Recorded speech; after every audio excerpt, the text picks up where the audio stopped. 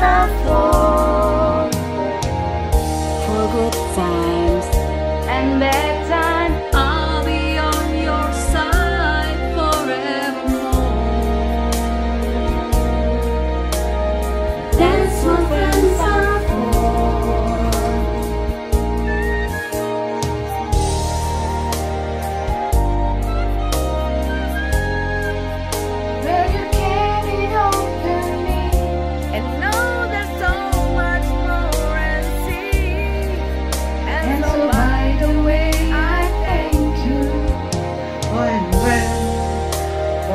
Sometimes when